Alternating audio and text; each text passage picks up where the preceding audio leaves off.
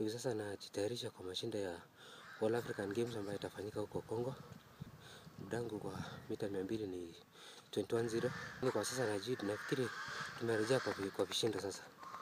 Ah, naona sasa wapinzani wangu ambaye ni Mike Mukamba ni kijana, kijana mdogo anakuja na, na nguvu sana, na I hope huyo ndio atatuwezesha kutusukumia hima hii masaa muda ambayo tunakimbia kwa mbio fupi, atatufanyia kitu mzuri ku, kutujenga sisi sprinters. Hakika tangu tuanze hii msimu ya relays ambayo ilianza Bahamas, nafikiri hapo ndio sprinters tulipata ku, kujengeka. Ndio tunashukuru sasa Athletics Kenya kwa kutu kwa kutupa hiyo nafasi ya exposure.